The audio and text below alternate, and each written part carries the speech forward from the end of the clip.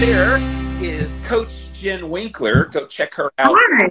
on Instagram. She is Coach Jen Winkler. Not hard to find. J E N W I N K L E R. She's a keto and carnivore family uh, coach and and of interest. But she wrote to me because she was one of the people that I said, "Hey, you want to come on my show? I'd love to interview people that maybe I don't normally interview."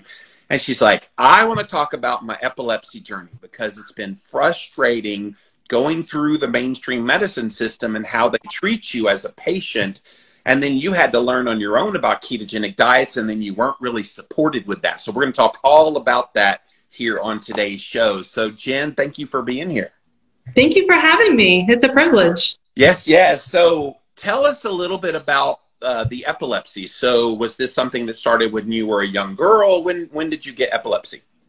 Yeah, so I was 12 years old. I was in fifth grade. Um, was my first seizure, and so it's probably like around puberty time, kind of thing, which does have a. It's not just a random thing to say, but it, it has a piece of the puzzle. So we were in computer class. Those old, um, I don't know if you remember those old green screen computers and those kinds. So they were pretty flashy, like little stroby type of thing. So I, I uh, had a seizure there, but by the time I got to the ER and the details got there, they weren't sure. You know, maybe it was a seizure, maybe not. So then my second one happened. I think it was about a month after uh, at a friend's house. We had a sleepover, which we didn't sleep like kids do. And when I got home, um, trying to tell my mom about it, that's where I had my uh, another seizure there because I was sleep deprived. So my primary uh, triggers were sleep deprivation and uh, photosensitivity. So that's where I started. Got the diagnosis there. Did the EEG, MRI, and they said yes, you have. So, Jen, do you know why the flashing light? I've heard that my whole life that it could trigger seizures. What is it about the flashing light that does that? You know, I don't know the science of it, but I know it's not many people with epilepsy that um, that have that trigger. It's it's somewhere between ten and twenty percent of diagnoses Right. have sensitivity. Yeah, Those warnings everywhere in like a fun house that has a strobe light. Warning can induce seizures, and it's like, how? Like, I would love mechanistically to understand. you know, I, I I would like to research that and figure that part out um, because right as of right now, like I, the only time those kind of things bothered me was during the EEG and that computer. Following that time, uh, I never had a seizure due to flashing lights or one of the ones they warn you about when you're 16 with epilepsy getting your license is the lights shining through the trees Yes. is another photosensitivity but it never bothered me i even went on roller coasters and stuff but um yeah those it wasn't until it was that was one of the main ones and when they do the eeg they do uh flashing lights really fast Yeah. Different colors so yeah Yeah, Cariana says it's the visual cortex, and that would be the same thing with the lights coming through the sunlight coming through the trees. It's just kind of this. I, I remember even like as a kid, I didn't have epilepsy or anything, but I remember seeing those lights and just kind of going, "Whoa, that's just that's rough on the eyes." yeah yeah i think it would affect a lot of people in in one way or another So tell us, okay, so uh, you got this 12 years old, 16, you're still kind of dealing with it. Wh- When did it become this thing where you went to see doctors, tr- really trying to get to the bottom of it and get it under control? Because as the years went by, you were probably like, look, something's got to give. Uh, drugs aren't working, therapies aren't working, something's got to give. Yes, good question. So um, I was on Depakote back then, and it controlled it. I almost felt like I didn't even have seizures, except for the insulin resistance that I then gained from that medication. Yeah. Um, so I gained a lot of weight. I got into college, which it was very difficult with epilepsy and the medication, and I got up to about 200 pounds. Um, so at that point, that's when I had pancreatitis and and all these side effects started happening from the medication. So they switched me. I got a ton of seizures on the new medication. And it was then in college that I started. I think I saw it on a poster or a blog. Maybe it was your blog. I don't know. Because it was back in 2005, six, somewhere in there.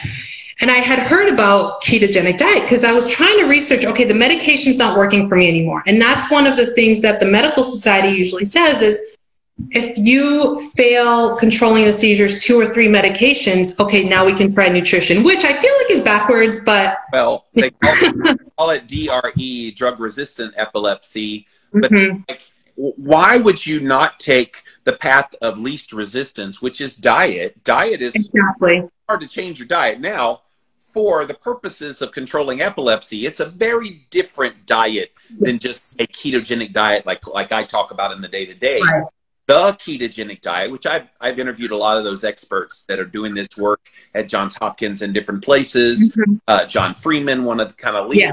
That, Eric Kossoff, another one I've had on the show before. And they talk about the ketogenic diet, which is like a very high fat, very low protein, and obviously next to nil carbohydrate diet. Um, yeah. How to make it palatable for kids, especially uh, it's hard to get them to eat that much fat and make it yeah. but they do a good job. But that was the first exposure you had to that after years of frustration. Yeah, and I I mean, so I had asked my neurologist, it was back in Boston. I, I used to live there. And they were just like, oh, no, that's for kids. Sorry, no hope. And that's it.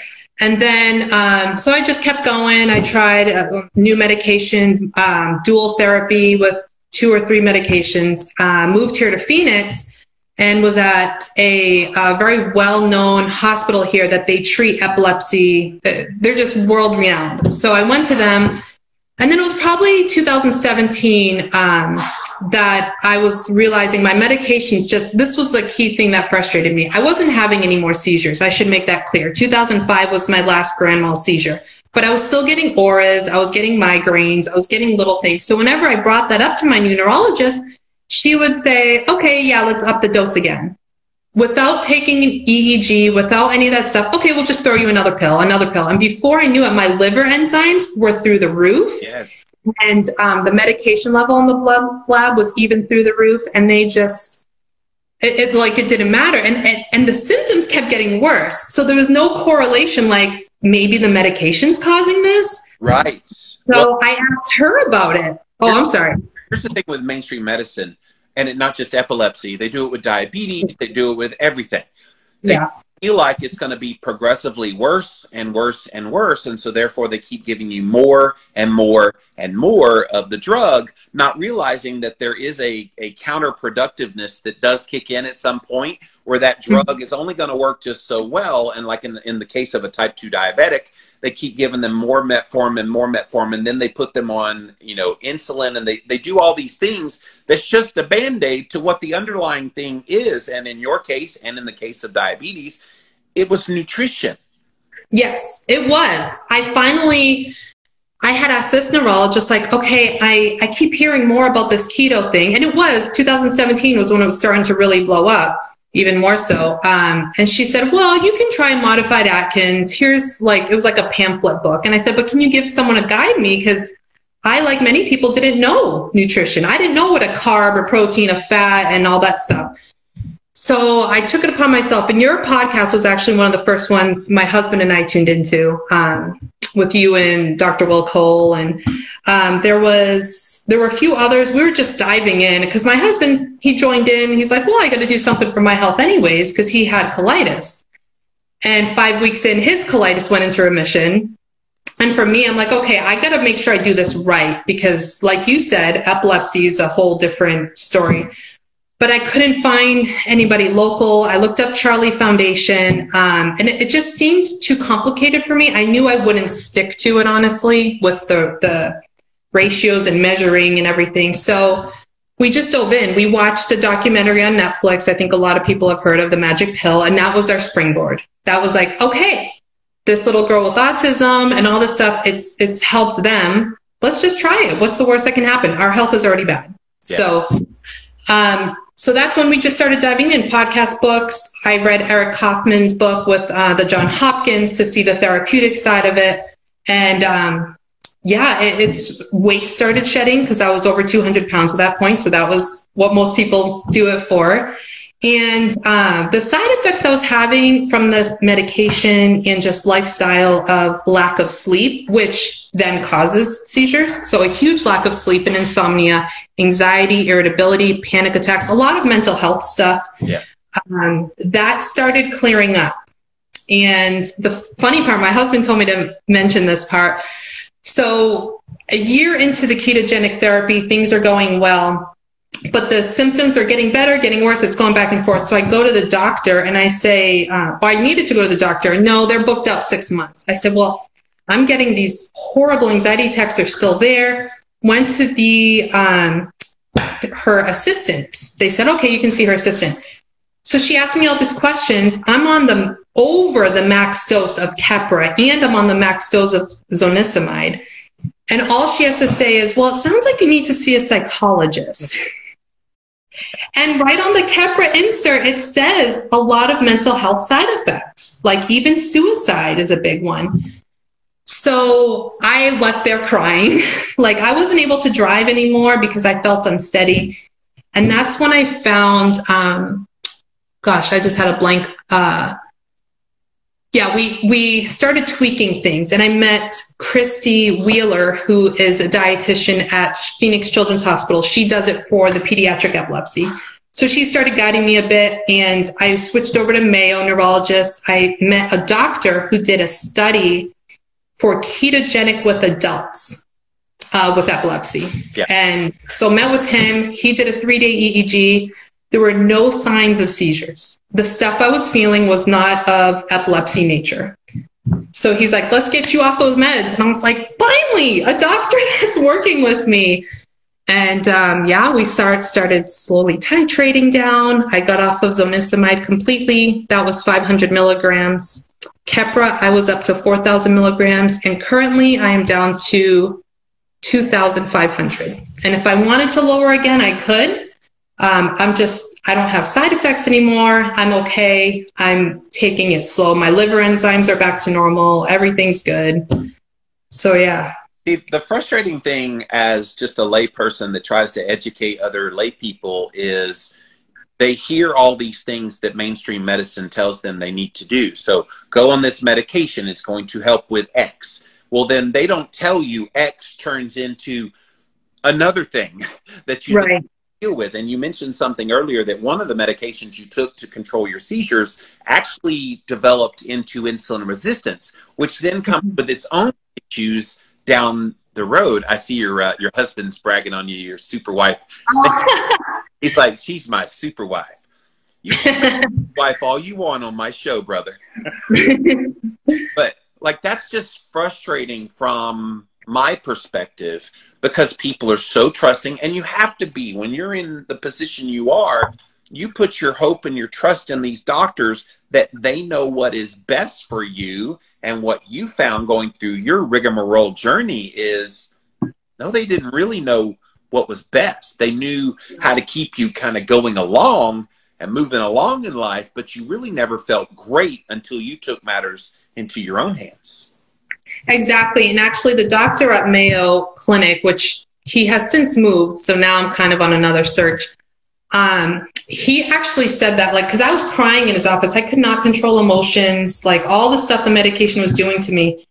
And he said one of the things that we take pride in here is quality of life, and and that's an important factor is to make sure it's not just controlling the seizures but that you're living to the best ability that you can. And and when he said that i was just like finally someone and i was just crying. So full of hope and i was very thankful for him. Um, but it, it is hard to find. Like even one of the things i think a lot of people have that you've talked about judy cho's talked about is the digestive aspect. Yeah. standard diet my body wasn't used to the fats and the proteins. Um, so I was getting horrible stomach cramps every single day. No idea what it was. I was ready to give up. And that's when Christy helped me. She's like, no, you don't need more PPIs like the Zantac and all that stuff. You need HCl, uh, the betaine HCl to increase the stomach acid. I was like, oh, okay. You know, tried that. And since then, like even more. And, and that's what I love about this space is some people say keto doesn't work for me, whatever their goal is, medically, weight loss, whatever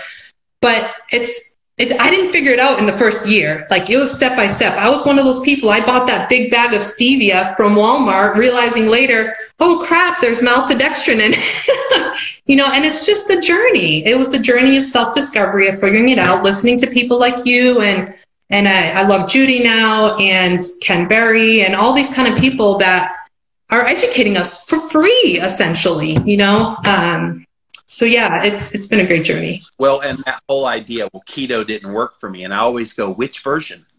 Because yes. keto isn't a diet. Keto can kind of fall on a spectrum depending on your metabolic state. If you're more insulin sensitive, you can get away with more carbohydrate and more protein and have ill effects.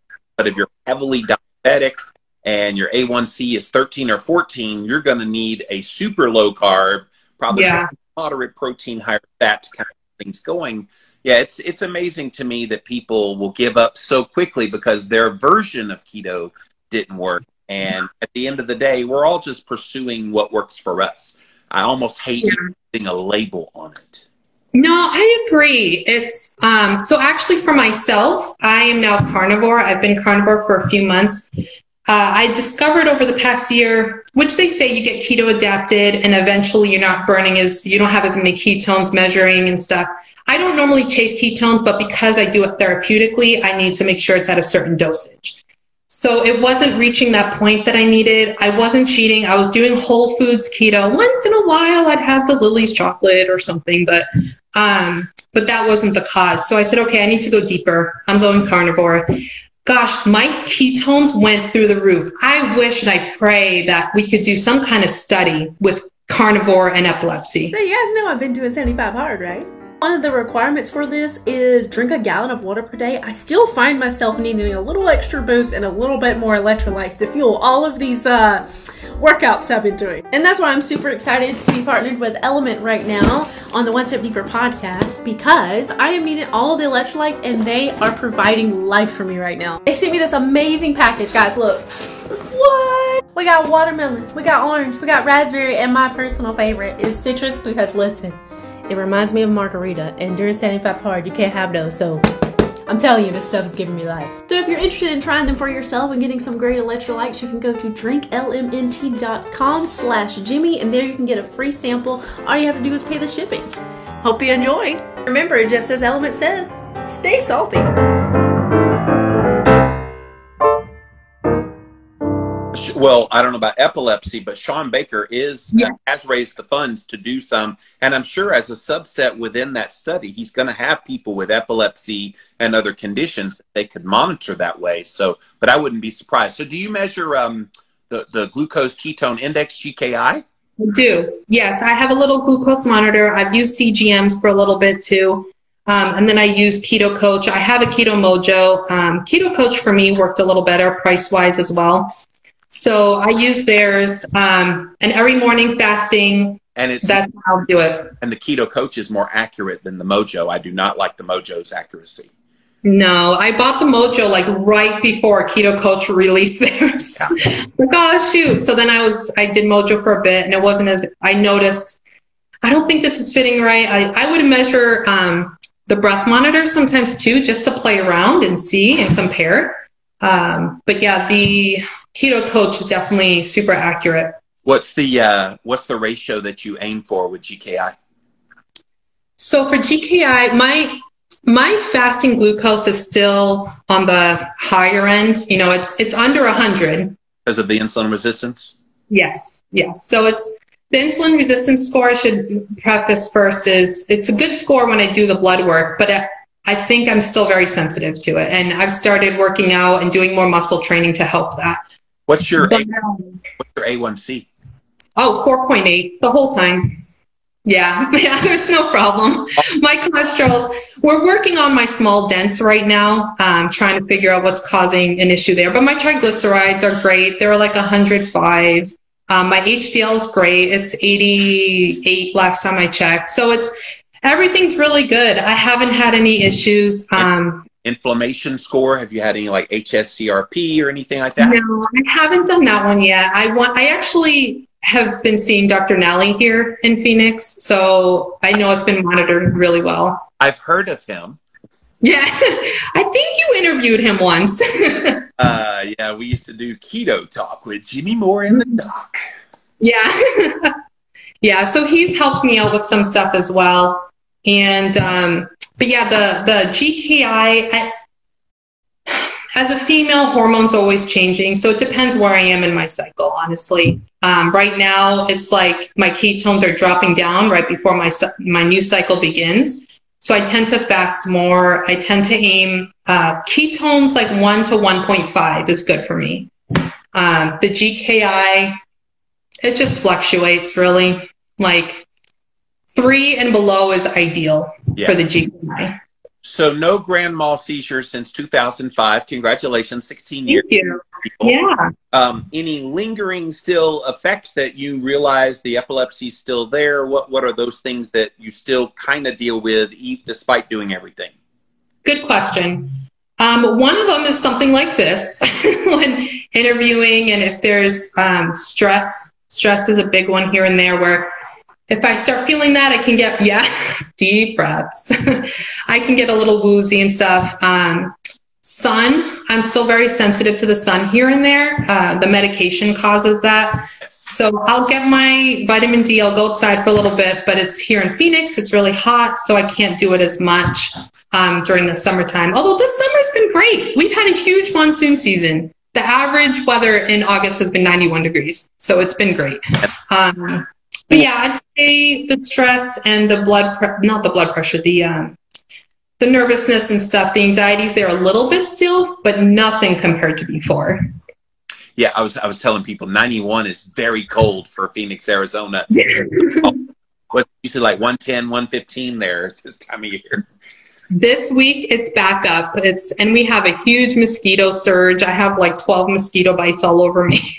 Uh, which is not very common. But yeah, it's, it's going back up. It's like 110 this week now. So you know, you know, there's kind of anecdotal evidence out there. People put online that when they started getting higher ketones, the bugs stopped biting them. Did you notice that at all, or? No, well, we normally don't have a lot of mosquitoes. It's only because we've gotten so much rain. So there's a lot of rain, uh, like retention holders, people's backyards. You know, I mean, you, are back east, so that's how it was when I was home in Boston. And um, yeah, so the, the water's sitting there. They're building the mosquitoes, but I mean, my ketones are 1.0 today, so I don't know. They bit me yesterday. Maybe they weren't as high yesterday. Maybe they're maybe ketone loving uh, mosquitoes from that from that. Yeah, they're like, ooh, I love this uh, carnivore rich blood and ketone rich blood. Yes, yes. So let's shift a little bit. Tell us about your coaching. What do you do? You help mostly women?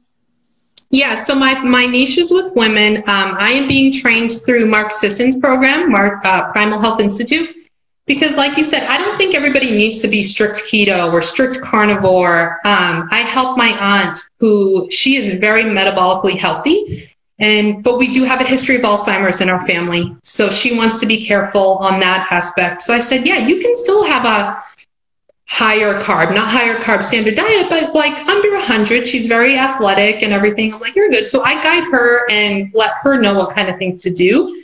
Um, just adding those healthy fats was all she needed.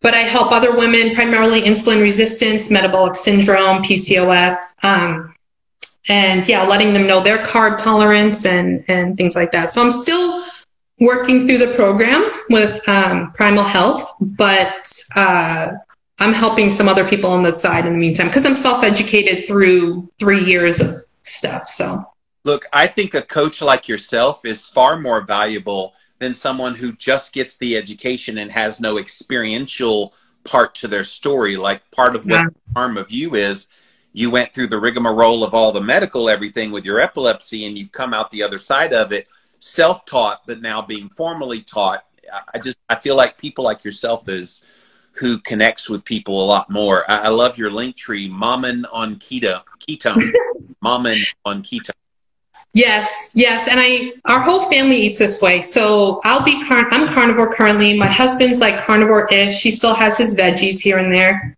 Yep, that's me. Um, I do have a four year old son that will be five in a couple weeks, um, and he is officially diagnosed on the spectrum.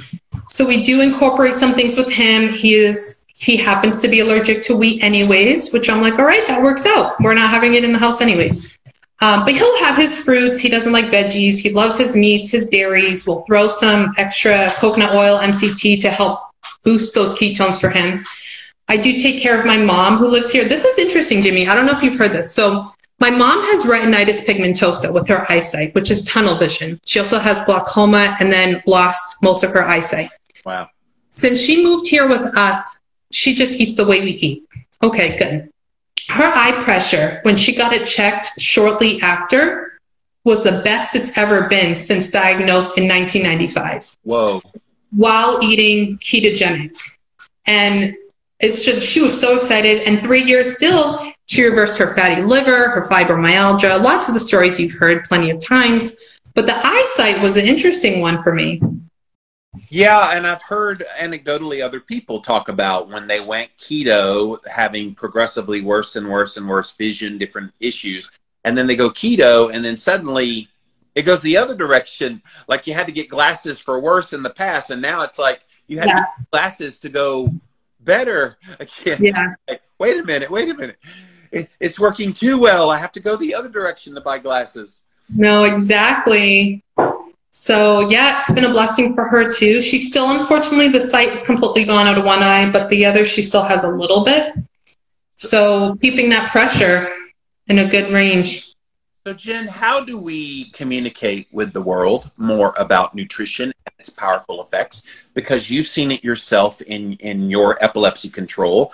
Uh, you said your husband overcame colitis in five weeks. You've got a kid that's autistic and you're feeding ketogenic, trying to get the ketones in there. You've got the mm-hmm. moms have the eyesight. Like it seems it's so powerful, and your family is just the spitting image epitome of what could happen to society if we embrace this more. What do you think we could do besides what I'm doing out here, blah blah blah, all the time, writing books and doing all I can to do my part? It's like, yes. what more can we do? You know, that's that's a hard one. I feel like just being a witness and people seeing the stories, making the stories like I'm I'm privileged to be in your story to help or your program to help share the story. Um, I feel like non-pressuring is a big thing. Some people feel pressured, meeting people where they're at. You know, some people the way that I work with people is a step by step thing. So I don't say, okay, you have to jump in all at once. I'm like, okay, let's figure out the first thing you can get rid of vegetable oils. First thing. That might be too hard. Okay, let's get rid of sugar first. And a step by step thing. Letting people know that there is a way to do it. Um, and just, yeah, seeing all the, the evidence. And now with uh, all the hokey pokey stuff and all that stuff going on, FDA approving it. And we're starting to see more and more certain things in the medical field that is harder to trust. So it's easier to trust people like um, their stories, what's going on. But we are all unique. We're all diverse. Yeah. So that's why I say meeting people where they're at, just educating. Well, and what's funny is people are like, how can you be so skeptical of the science? I'm like, I've been skeptical of the science for 17 years. Yeah. I got in this gig, it was like FDA's lying to us about the our health and USDA dietary guidelines is bunk. And so it's like everybody, how can you be so skeptical? I'm like, how could I not be with what I've seen?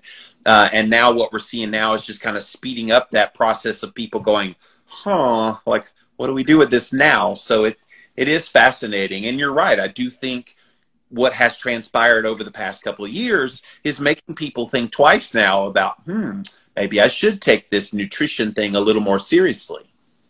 Yeah, and well, it's just ancestral. When you keep learning about the ancestral aspect about all this, it's like our ancestors weren't eating Pop Tarts, weren't eating cereal for breakfast. They weren't eating all that. It was the meat and the fat, and once in a while, some berries that the fruit doesn't even look the same anymore. You know, it's like it's learning history of nutrition really and and that's what's fully convinced me that's why i know on carnivore i'll be fine you know it's so why aren't we teaching that in the schools by the way where there's history of nutrition? Here's what an apple used to look like. Here's what a watermelon used to look like look like. Here's how they went and hunt, hunted for the foods and they ate the whole part of the animal and here's all the parts of the animal. How amazing would that be if they're teaching that school? But no, I remember when I was a kid in the 80s, we had to memorize the food pyramid. We had to like, how many greens a day did you need? Ah, ah, ah. And it's like yeah. none of that gets taught. None of the good history of nutrition ever gets taught. How cool would it be if we could turn that around? Oh, that would be that would be amazing. It would. The problem is though, Jimmy, then the pharmaceutical industry is screwed as well as the medical industry. Well, so God forbid we teach real nutrition. Well, well, and there it is. Big food, big pharma. There's just too many special interests at play, and this is part of when I talk to people trying to educate them outside of the podcast world. Uh, of look, do you realize there's special interests that want to keep you sick, that want to keep you fat and they keep selling you foods that make you fat and sick so they can sell you drugs that make you somewhat better but not all the way better but then you go on a diet and they sell you those things with the big food but then the same companies that make the junk food make the diet food and it's like this all over the place kind of tie it all together for people they go holy crap mm-hmm. no exactly it, exactly it's i mean and i'll admit the first two years my husband and i there would be many times where we would think, are we doing something wrong? Are we going to get a heart attack? You know, what's going to happen? But we just kept feeling better. And it's that's the thing people need to learn is my keto is different from Jimmy's keto.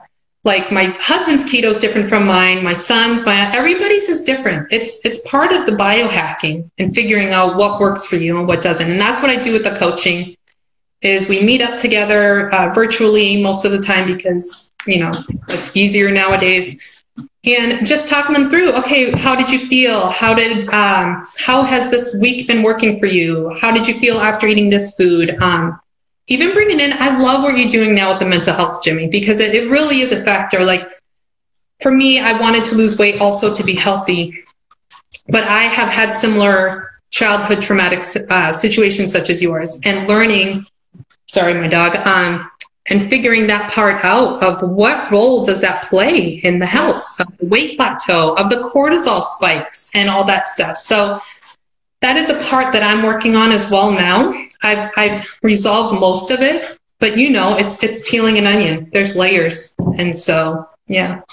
And the more you peel, the more you find, and you're just like, oh, another one. Uh, what? I know, I know. It's it's a struggle. But like, um, but good. I think in the name of the game though is just staying in the game. Um, and I'm about to embark on this journey where I'm going hundred days in a row of doing all kinds of really interesting biohacks. I'll be sharing more soon, but it's just it's incredible how many people give up because they feel like they've done everything. They feel like they're not getting any good positive feedback for the things that they have done. And so therefore they're like, well, I'm not going to get any credit for what I have tried to do. Why should I try at all? So encourage that person that thinks that way. How do you talk to clients like that? That's a good question. I actually just had a client recently that that's what happened. Um, I think the bottom line is pretty much a lot of times there's an unhealthy attachment and we have to get to the behavior aspect and the addiction aspect. What what are you feeling when you want to go for that bread? You know, to because she really wants that bread right now. What are you feeling? Um, what's driving you? Is it true hunger, or is it I feel peer pressure because I'm at a party, or is it just uh, yeah, just to evaluate those emotions yeah. when that temptation's coming? That's pretty much the root of I'd say 90% of people. You tired of playing the mask game? Me too. That's why I wanted to tell you about the Unmask this is a breathable, completely breathable. It covers, you can't even see that it's breathable, but it's breathable. Whether you're going on a plane, having to go into a store and wearing this thing, playthemaskgame.com is how you can get this mask. They come in all kinds of colors and everything. In fact, right there, you can see right through it what it is, but when you're wearing it, it does not look like it's anything different. But it's breathable, baby. PlayTheMaskGame.com. Look, I can admit from firsthand experience, like when you have done lots of things to put yourself in a good position and things aren't moving, weight, health markers, whatever you're measuring, there's a frustration level that comes in right here that it's hard to psych yourself out those things that you think have failed. Now, maybe there's things you need to tweak and move, but maybe not. Maybe what you're doing is the right thing. It's just taking more time for the body to heal. So, getting people to reconcile that there is a timeline and they're and it's not linear to anything. like for Right. people, there's so much damage done. It could take years for them to get to the point that they're wanting in their head, and or you may not ever get to that idealization of what you're thinking in your head as well. And how do you convince those people of what you're doing is saving your life because but for what you're doing, you would probably be dead. Exactly. Right. Actually, my husband talks about that. Like he was a big salty snack chip eater, the, um, the chocolate bars, Milky Ways, all that stuff. And we, we joke, but not joke. Like he was probably really close to getting a heart attack at some point. You know, if he didn't switch this way, it's who knows what his blood markers were before. He didn't really go to the doctor much except for the colitis. So, I mean, his markers are great now as well. And we just say, like, what if we didn't change? Where would I be at? Would I have ended up having a seizure driving? Yeah. Um, you know, what would the medication have caused my liver to be completely screwed up? You know, it's, yeah, it's, I, I, there are, the hard part for me is when there's people I know that will benefit from this, Yeah. but they just, they're just too stuck in their ways or they're scared or whatever. And um, we just have to wait till they're ready. You can lead a horse to water, you can't make them drink. Well, and a lot of them are very trusting in what their doctor say, and if it doesn't say it, then they just don't believe it. And you know, I'm even hearkening to my own brother Kevin, which yesterday would would have been his birthday, would have been his Mhm. fourth birthday. He died in 2008 at the age of 41 from heart disease, morbid obesity, diabetes, all the rest. And I, I, I just I think about him often that he's kind of that epitome of he tried things and they would work, and then he feel better. He off because he felt better and he wanted to go back to normal again, which, as you stated earlier, there is no normal. The normal is the lifestyle you chose. Keep doing it. Yeah. But I- I feel like there, he's more indicative of the average person than not. That if they're going to try something, they'll do it for a period of time, but they don't want to put in the commitment. What do you think it- people? What do you think makes people reticent to making that commitment? Yeah, I think it can be a number of things. I think a lot of people they don't realize the sugar addiction they have. I, I think that's a, a big one. The emotional eating, um, just and and like you said, the trust of their doctors. You know, it's it, they roll this relationship, and I. I should make sure people understand I'm not bashing all doctors. There are some fantastic doctors there, um, but they are the minority, unfortunately, Yeah. uh, to incorporate nutrition. So I, I think from my experience, that's usually the the top ones. It's I do have some friends that they they admit full out. I know I have a sugar addiction. I know I I yeah you know it's it's hard for me to get rid of. And I'm like, all right, you acknowledged it. That's good. that's the Well- key. and and they'll acknowledge the addiction but not even realizing what they're saying by saying that when you say i'm addicted to it means you can't give it up without help and so Yeah. is eat more fat cut the sugar and eat more fat that's your help the help Right. Hire a coach like coach Jen to be able to you know walk you through those times when you don't really know what to choose. Help is also uh, replacing this thing that you think you can't live without. For me it was macaroni and cheese back in the day with something new that now fulfills that same dopamine need in the brain. Like we're not we're not seeking sugar. We're seeking dopamine. And yes. Realize that we could replace one dopamine hit for another dopamine hit we could probably fix a lot of these issues No, exactly. Yeah, you I I agree 100%. It's the other thing is what what is what is the point of food? The point of food is to nourish so we have energy, so we can go with our day, so we can think. If we're saying we are addicted to XYZ, then or sugar or bread or whatever, the food now has control over us yes and it's no longer for nourishment, the whole sole purpose of it. yes Um, I heard, I can't remember his name at the moment, but the carb addiction doctor, he was talking about how sugar is, oh, okay, go ahead. dr robert Cywes is his name go ahead Yeah, thank you.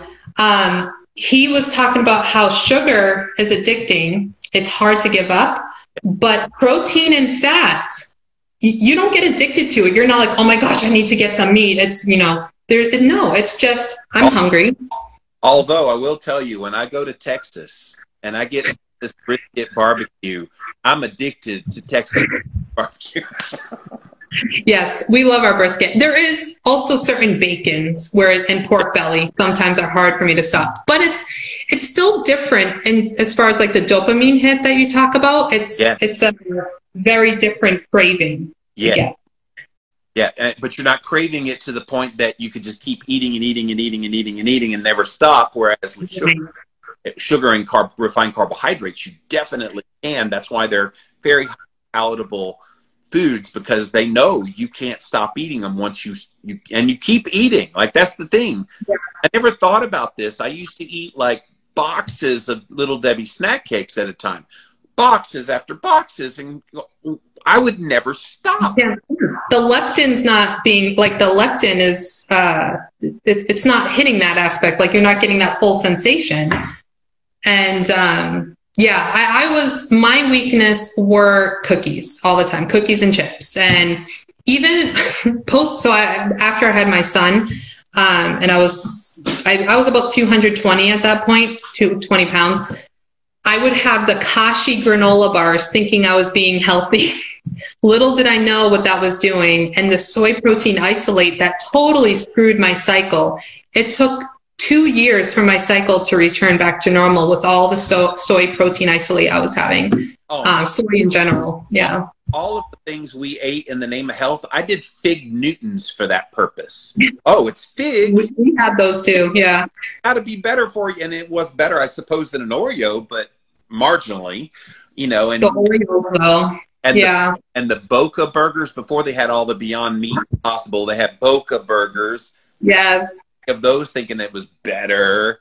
Yeah. SnackWell's. We could go down the list of all the things that fooled us in granola bars, Nutrigrain. Uh, or what was the uh, Sun Chips? Those those Sun. Chips. Yes. And the baked, the baked versions of the chips. then yeah, yeah. It's Yeah. it's incredible the way the food manufacturers fooled us into thinking we were eating healthy, and I suppose marginally so compared to what we were eating, but still not great. And and again, all depending on what the root, like what your issue is. If you're insulin resistant, diabetic, that's not making any difference. You know, it's it's still it's still feeding the problem. So yeah, Yeah, it's it's a problem that's going to be there, but it's like it's what keeps me up every day doing what I do, Jen, because I I feel like I feel like we're at that turning point where people want to make a change, but they've heard the vilification of things like keto and carnivore and meat, and oh, I'm not so sure. But then they get reassurance hearing stories like yours here today. So I guess we just need to keep chirping and keep telling people how it is, and uh, catch on.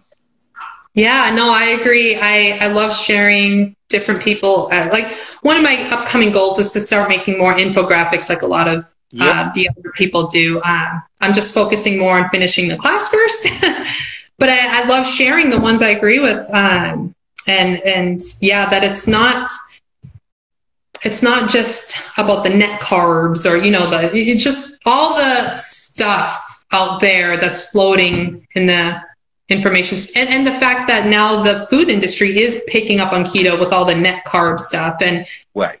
it's, it's just giving you all these horrible fibers that you don't need and, and Well, a lot of people don't get that yet still well, and Simple. and they guys it because they count any fiber as net carb, so that like fiber in whole grains. Oh, you can subtract that. No, no, no, no, no you can't.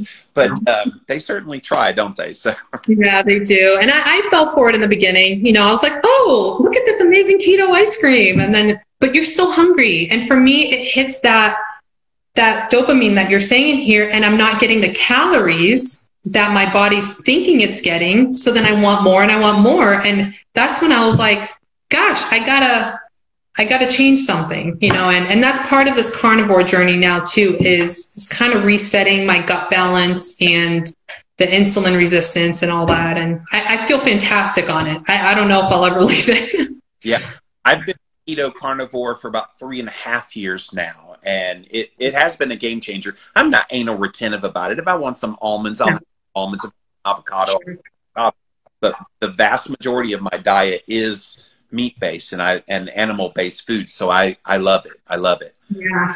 Well, guys, go check out Coach Jen Winkler over on Instagram. And uh, she's got a link tree there. And once you're there, you can uh, see all the things that she talks about. Uh, she's got the recipe for protein sparing modified bread. Why Yes. the jabby jab in the in the for the hokey pokey for the black plague. You got all kind of stuff on here. Keto avocado fudge brownies. Oh, I'm gonna click. Yes. Oh, You have to try those. okay. So you do videos over on YouTube as well. I, I pressed it and went to a video. I went, oh, we don't want to play the video. yeah, no, yeah. yeah, I'm actually my website's still getting developed. So right now it's just reach out to me on Instagram. Um, we're getting all that still developed. And Jeffrey says, We love you, Jimbo. Thanks for all the good info you provided. Thank you uh, for watching and being a faithful husband to this beautiful lady right here.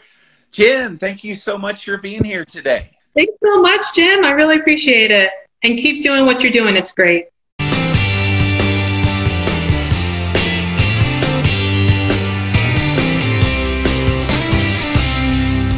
Real Good Foods is one of the fastest growing frozen food companies in the U.S. Everything they make is nutrient dense, high in protein, low in carbs, and made from real food ingredients. Instead of using processed flours, everything they make is 100% grain free and gluten free, which is how they keep their carbs so low. They can be found at Costco, Walmart, Target, Kroger, and in almost every grocery store nationwide. Or you can order online. Check us out today at realgoodfoods.com and at Real Good Foods on social media.